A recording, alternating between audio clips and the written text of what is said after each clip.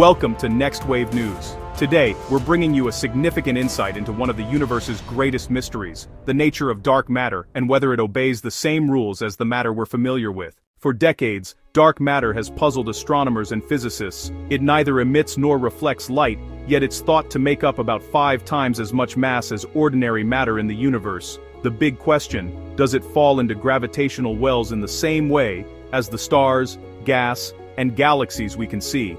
Or is it governed by some unknown, additional force? A research team led by scientists at the University of Geneva has now tackled this question in a cosmological context. They compared galaxy motions to the depth of their surrounding gravitational wells, space-time distortions mapped by lensing and clustering. If dark matter only feels gravity, then dark matter-dominated halos should fall just like visible stars and gas. Their trajectories should match in the same wells, but if a fifth force acted on dark matter, its paths would subtly diverge from gravity-only motion. The results? Dark matter tracks standard gravity. Any extra force must be weaker than about 7% of gravity. Why it matters, this sharply narrows candidates, pushing dark sector ideas toward only very weak interactions.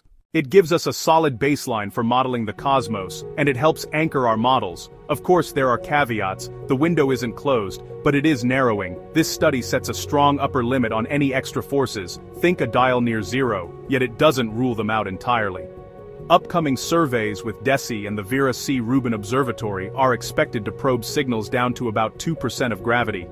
In short, exotic physics remains possible, but today's evidence says dark matter mostly plays by gravity's rules, anchoring our models and setting the stage for the next wave of exploration. If you found this deep dive into cosmic physics intriguing, don't forget to like this video, hit that notification bell, and subscribe to Next Wave News so you never miss our next wave of science stories. Thanks for watching, and as always, stay curious.